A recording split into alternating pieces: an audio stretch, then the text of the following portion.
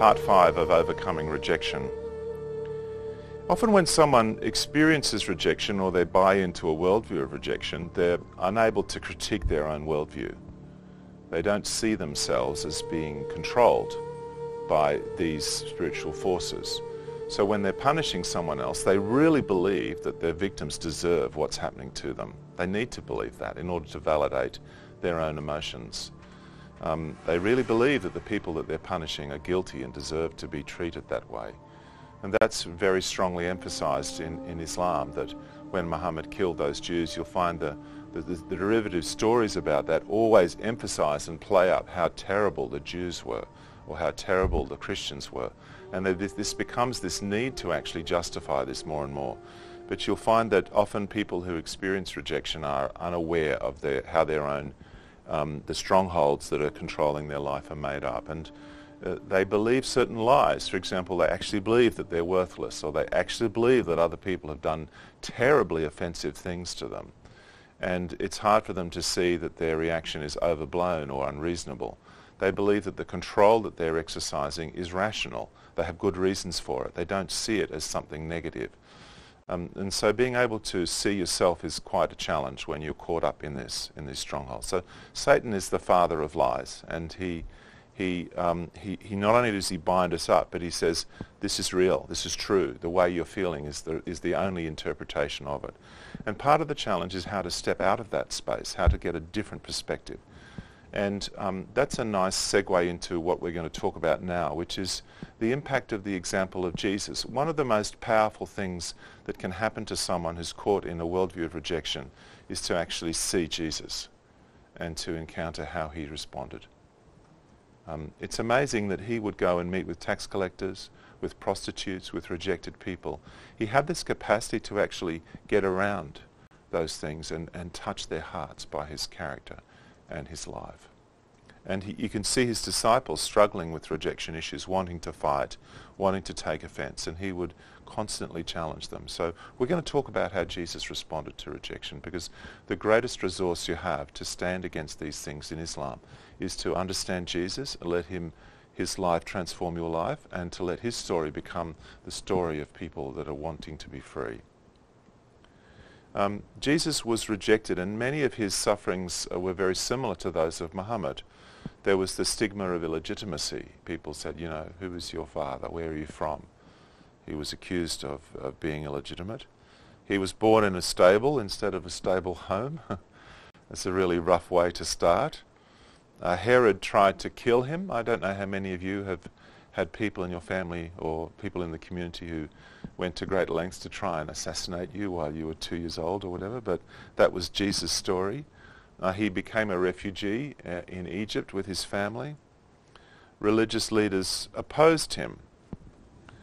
And his authority was questioned. There were many charges that were raised uh, against him he was uh, challenged about helping people on the Sabbath to show that he was breaking the law.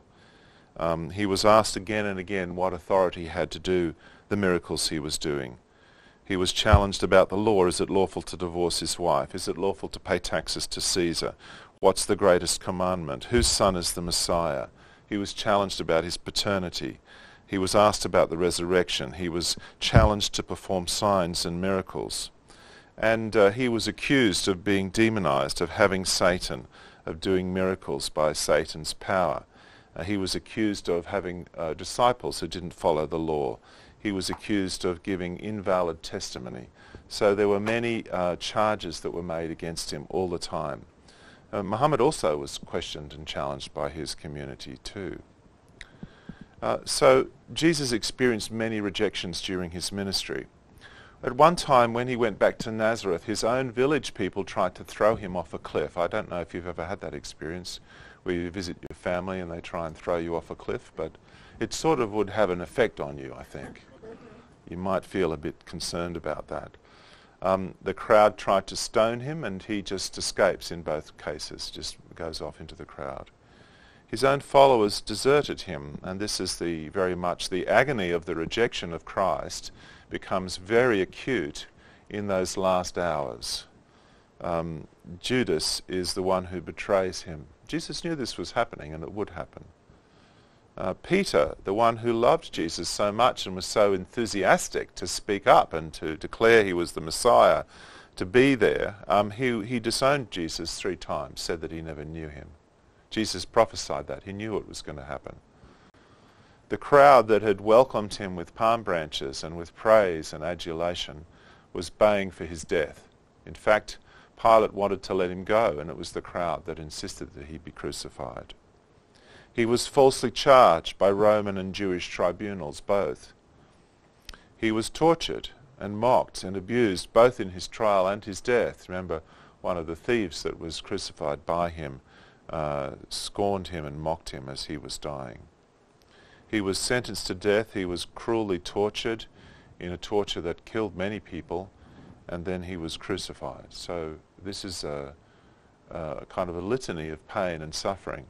We're so used to it. You know, we read these stories, we see the Pharisees didn't like him, and we read these incidents. But how would you cope with such an overwhelming burden of rejection in your life? What, how do you think you would respond to it? I think his disciples asked that question a lot as they later experienced rejection. It became a big issue because 11 out of his 12 apostles were killed according to the tradition. They were martyred uh, for following Jesus. He was innocent. Hebrews makes that clear. The scriptures make that clear. We do not have a high priest who's unable to sympathize with our weaknesses, but we have one who has been tempted in every way just as we are, yet was without sin. And with respect to rejection, that means that Jesus did not, um, he didn't take the bait. Didn't take the bait of Satan. He, he didn't respond with violence, aggression. He didn't curse those who cursed him. He rejected those temptations to fight and to destroy. Um, also, his disciples were very conscious of following this example. It had a big impact on his followers. Christ suffered for you, Peter said, leaving you an example that you should follow in his steps, follow his suffering steps. He committed no sin, no deceit was found in his mouth. When they hurled their insults at him, he did not retaliate. When he suffered, he made no threats. Instead, he entrusted himself to him who judges justly. He himself bore our sins in his body on the tree so that we might die to sin and live for righteousness. By his wounds you have been healed. This is quite an amazing perspective that the pain of rejection and hurt that we suffer is healed because of the sufferings of Jesus, because of the rejection that he bore. And his innocence in not retaliating, in not declaring jihad against those that persecuted him, this actually spiritually validates his sacrifice and enables us to hand our own pains and uh, burdens and rejections uh, to him. And he bears the punishment for our sins and sets us free. We are saved, rescued through this act of suffering that he went through. It's an incredible, incredible idea, really, remarkable and that we should follow, we should live like this too. This is, this is our life. This is how the Christian life is meant to be. I love this passage in Matthew 12. He will not, quoting Isaiah, he will not quarrel or cry out. No one will hear his voice in the streets. A bruised reed he will not break, and a smouldering wick he will not snuff out, till he leads justice to victory. How do you establish vindication in the world? How do you establish justice? Well, not by saying fitna is worse than killing. Not by killing those who persecute you. You do that with this incredible gentleness. A bruised reed he won't break, a smouldering wick he won't snuff out. That's an incredible image, really.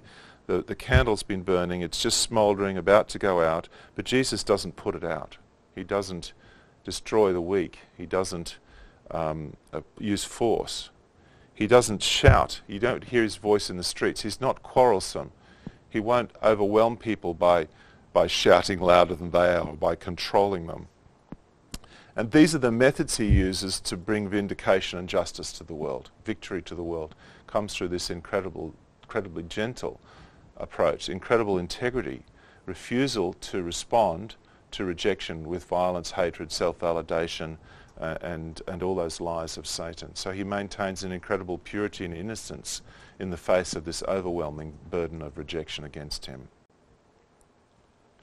He also taught that um, blessing is persecution is a blessing. Blessed are you when men hate you, when they exclude you and insult you and reject your name as evil because of the Son of Man. Rejoice in that day and leap for joy. I'm being persecuted. Yay! That's so exciting. I've been rejected by other people in the ministry. Lord, thank you, thank you. You know, um, they've taken my house away. Oh, praise God, I'm going to have a reward in heaven. Do we think like that? in the West? Is that the way we live the Christian life? We so easily take offense.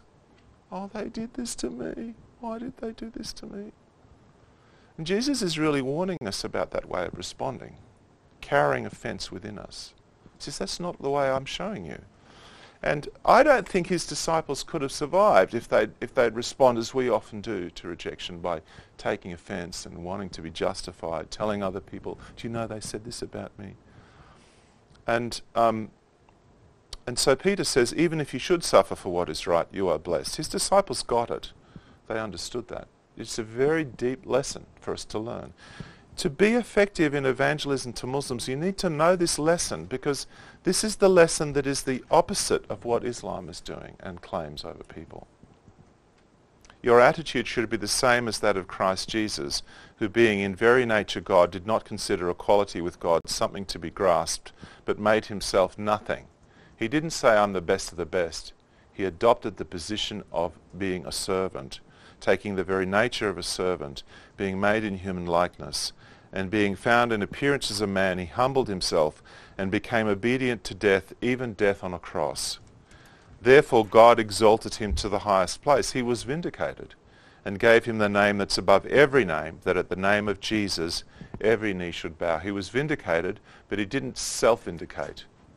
He didn't destroy. He didn't respond with the rejection responses. The disciples understood it. To this very hour we go hungry and thirsty. We are in rags. We are brutally treated. We are homeless. When we are cursed, we bless. When we are persecuted, we endure it.